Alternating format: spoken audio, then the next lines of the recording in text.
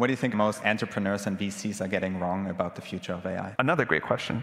Um, I think there are two fundamental strategies to build an AI startup right now. You either bet the technology is about as good as it's going to be, or you bet that the technology is going to get massively better.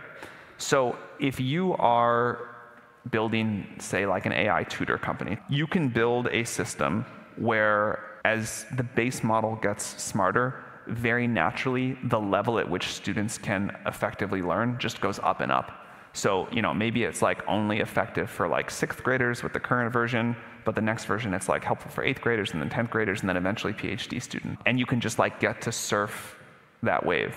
Or you can say, I'm going to put all my effort into just barely making this work for eighth graders in the limited case of history and do a huge amount of work to like have a human in the loop and correct factual errors for this one class. In the first world, you'll be really happy when GPT-5 comes out. And in the second world, you'll be really sad. My intuition would have been that 95% of entrepreneurs would have picked the first world. It seems like 95% of entrepreneurs are picking the second world. And then you have this whole like OpenAI killed my startup meme. But we try to say very loudly, like, we get up every morning trying to make the model much better. And if you're doing like a little thing to get it to barely work in one specific case, that's probably a mistake.